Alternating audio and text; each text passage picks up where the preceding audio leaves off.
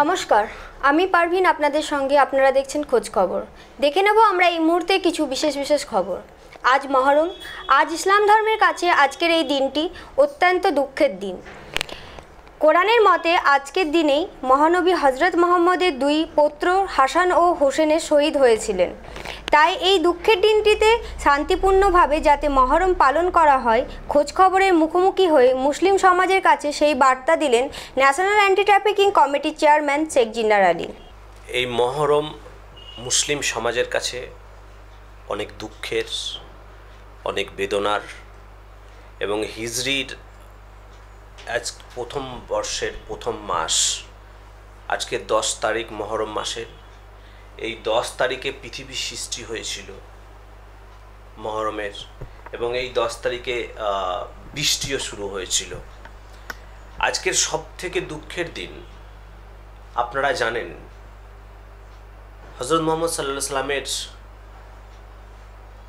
দুই নাতি, অর্থাৎ মা ফাতিমার দুই ছেলে হাসান হোসেন, ইমাম হাসান হোসেনকে কারবালার মরুপ্রান্তে হত্যা করা হয়েছিল। আজকে সেই শোকের দিনে সারা ভারতবর্ষ নয়, সারা পৃথিবী জুড়েই আপামার মুসলিম সমাজ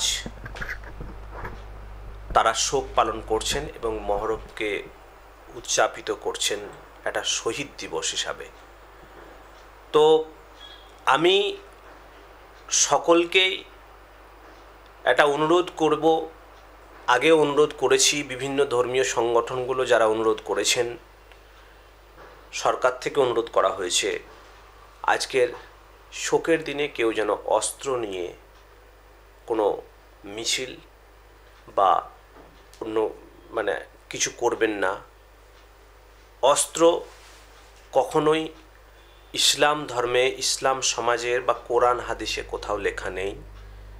আর আজকে এই শোকের দিনটাকে আমরা সেইভাবে পালন করি। হাসান হোসেনকে আমরা, ইমাম হাসান হোসেনকে আমরা স্মরণ যাতে করতে পারি, আমি সর্বধর্ম বর্ণ নির্বিশেষে সকলকেই বলব, আজকের এই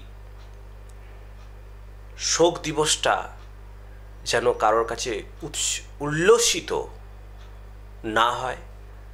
এই শোক দিবসটা যেন শোক দিবসের মতোই পালন করা হয়। এটা আমি সারা ভারতবর্ষের মানুষের কাছে, বিশেষ করে মুসলিম সমাজের কাছে আবেদন করব। আমার ন্যাশনাল অ্যান্টি ট্রাফিকিং কমিটিরটা আবেদন করেছি। এবং এই ন্যাশনাল অ্যান্টি ট্রাফিকিং কমিটি, আপনারা জানেন, ন্যাশনাল অ্যান্টি ট্রাফিকিং কমিটির একটি করে টি শার্ট কিছু মহরম কমিটিকে দেয়া হয়েছে তাদের স্বেচ্ছাসেবকদের জন্য। যে গ্রিন কালারের স্বেচ্ছাসেবকদেরকে এনএটিসির যে ন্যাশনাল অ্যান্টি ট্রাফিকিং কমিটির স্বেচ্ছাসেবকরা যাতে শান্তি বজায় রাখতে পারে, তার জন্য তাদেরকে আমরা সেই ন্যাশনাল অ্যান্টি ট্রাফিকিং কমিটির তরফ থেকে আমরা টি শার্ট দিয়ে একটা চিহ্নিতকরণ যে এরা শান্তি যাতে বিভিন্ন উচ্ছৃঙ্খল বা কোনো কিছু না হয়, শান্তি রাখতে পারে। তার জন্য আমাদের বিভিন্ন স্বেচ্ছাসেবকরা কাজ করছেন। বিভিন্ন কমিটির মধ্যে তারা অ্যাটেন্ড করেছেন। আমিও এক্ষুনি বেরিয়ে যাচ্ছি। কয়েকটি, কারবার, কয়েকটি আজকে মহরমের যে তাজিয়া বেরোবে বা এই ধরনের বিভিন্ন প্রোগ্রাম আমি অ্যাটেন্ড করব এবং সর্বশেষ প্রোগ্রাম আমি অ্যাটেন্ড করব বর্তমানে। ন্যাশনাল অ্যান্টি ট্রাফিকিং কমিটির পক্ষ থেকে আপনার মহরমে যে অস্ত্র প্রচার, সে মানে অস্ত্র নিয়ে যেটা মহরম পালিত হয়, সেটার জন্য আপনারা কি পদক্ষেপ নিয়েছেন? দেখুন, এটা তো সরকারি ম্যাটার এটা ধর্মীয় ম্যাটার অস্ত্র একটাই আমরা বিনীত অনুরোধ, কাতর অনুরোধ আমার বা আমাদের ন্যাশনাল অ্যান্টি ট্রাফিকিং কমিটির পক্ষ থেকে যে অস্ত্র নিয়ে মিছিল করতে হবে, অস্ত্র নিয়ে শোক পালন, এটা ধর্মে কোথা নেই। তো সকলকেই আমরা অনুরোধ করব, অস্ত্র কেউ যাতে না নিয়ে বেরোয়। অস্ত্র ছাড়া যেটা শোক পালন, হাসান হোসেনকে, ইমাম হাসান হোসেনকে স্মরণ করা, সেটা যেন হয়। অস্ত্র নিয়ে যেন অন্য মানুষদেরকে উল্লসিত করা, আর কেউ যেন মহরম উপলক্ষে জোর করে চাঁদা তোলা বা এই ধরনের কোনো অসামাজিক কাজকর্ম যেন না করেন। রায়না দু নম্বর ব্লকে তরুণ সংঘর দ্বারা অনুষ্ঠিত হলো একটি পদযাত্রা। এই এই পদযাত্রা মশাবাহিত রোগে নির্মূল করার ক্ষেত্রে মানুষের মধ্যে সচেতনা সচেতনতা বৃদ্ধি করতেই এই পদযাত্রা করা হয়েছিল। এই পদযাত্রা সকল ক্লাবের সদস্য ছাড়াও ঘুষ্টিয়া প্রাথমিক বিদ্যালয়ে পড়ুয়া ও গ্রামবাসীরা উপস্থিত ছিলেন। উদ্দেশ্য হচ্ছে গ্রামের মানুষদের সতর্কতা করা ম্যালেরিয়া আর ডেঙ্গু থেকে মুক্তি পাওয়ার জন্য। কারণ গ্রামের বেশিরভাগ মানুষ ধরুন সতর্কতামূলক পদ্ধতিগুলো জানে না, তার জন্য আমরা তাদেরকে সতর্ক করে দিচ্ছি যে এই পদ্ধতি অবলম্বন করবে। হ্যাঁ বিভিন্ন রকম যে স্লোগান দেয়া হচ্ছে, সেই স্লোগানের মাধ্যমে তাদেরকে সতর্ক করে দেওয়া হচ্ছে যাতে ডেঙ্গু, ম্যালেরিয়া না হয়। এটাই হচ্ছে আমাদের মূল উদ্দেশ্য। আজ বীরভূমের রামপুরহাটে দু নম্বর ব্লকের মহরম প্রস্তুতি চলছে জোর কদমে। মহরম কমিটি জানায়, এই মহরম আজ তাদের কাছে খুব দুঃখজনক একটি দিন। আমরা অতি শান্তিপূর্ণভাবে এই দিনটিকে পালন করে থাকি।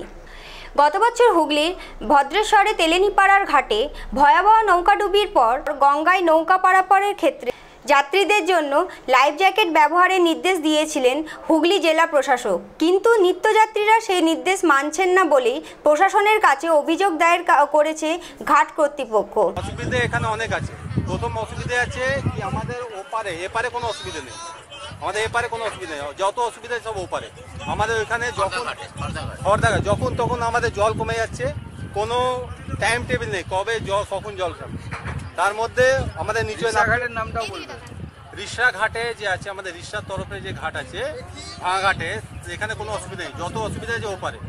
ওপারে নাম বলবে উচ্চারণ করবে। হ্যাঁ খর্দা ঘাটের দিকে যে আমাদের অসুবিধা আছে ওখানে মেনলি অসুবিধা আছে এদিকে মেনলি অসুবিধা আছে কারণ জল কমে যাচ্ছে, আর আমাদের নিত্যযাত্রীদের তো অসুবিধা হচ্ছে, নিচে নামতে হচ্ছে, মাচা লাগাচ্ছে, এরা খুব অনেক এ করছে কপারেট করছে। কিন্তু মাচা থেকে অনেকবার লোক পড়ে যাচ্ছে, আমাদের নিত্যযাত্রীও পড়ে গেছে, অনেক চোট পেয়েছে ও সাইকেল শুদ্ধ পড়ে গেছে। আর এইটা, এই অসুবিধাটা অনেক দিন ধরে হচ্ছে।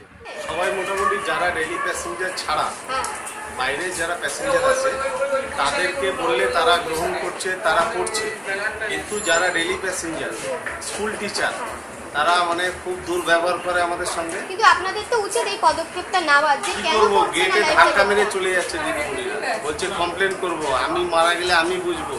তা আমরা কি করতে পারি? এটা বলছে। হ্যাঁ। তো মানে প্রতিদিনই মানে নিয়ে যাচ্ছে কিন্তু করবে না। ও নৌকোতে রেখে দিচ্ছে নিচে ভেতরে ঢুকিয়ে। বললে মাঝিদের বলছে চর মারবো। স্কুলে রিস্টা হাই স্কুল গার্লস স্কুলে আমরা বলছি এখন এরা শুনছে না আমরা চেয়ারম্যানকে জানিয়েছি। চেয়ারম্যান বলল পড়াও চেষ্টা করো লোককে কনভিন্স করো করছি শুনছে না কিন্তু আগে থেকে মোটামুটি এইটি পার্সেন্ট লোক কনভার্ট করে মোটামুটি ইয়েতে জায়গাটা এসছে কিন্তু শুধু দিদিমণি ছাড়া। মানে দিদিমণিরা উম, হ্যাঁ, না নিয়ে যাচ্ছে নৌকোতে রেখে চলে যাচ্ছে। নৌকোতে রেখে চলে যাচ্ছে। পূর্ব বর্ধমানের রায়না স্যারা অঞ্চলে বেদুয়া গ্রামে চার লক্ষ টাকা খরচা করে তৈরি হচ্ছে মুক্ত মঞ্চ। স্যারা অঞ্চলের এর প্রধান দয়াবতী বাঘ নিজে তদাকারিতে করছেন এই কাজ। এতে যথেষ্ট খুশি গ্রামবাসীরা। ধন্যবাদ জানিয়েছেন গ্রামবাসীরা স্যারা গ্রাম পঞ্চায়েতকে।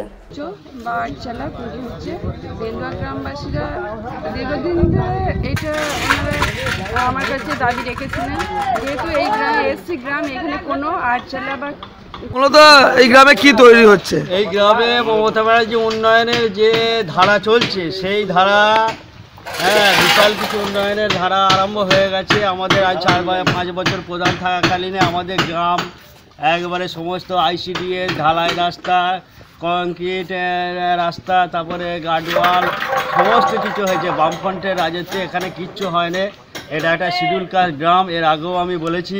যে মমতা ব্যানার্জি আসার পর এই গ্রামের মানুষের একটা স্বপ্ন দেখ এখনকার খবর এই পর্যন্ত। দেখতে থাকুন খোঁজ খবর, খবরের খোঁজে, মানুষের মাঝে।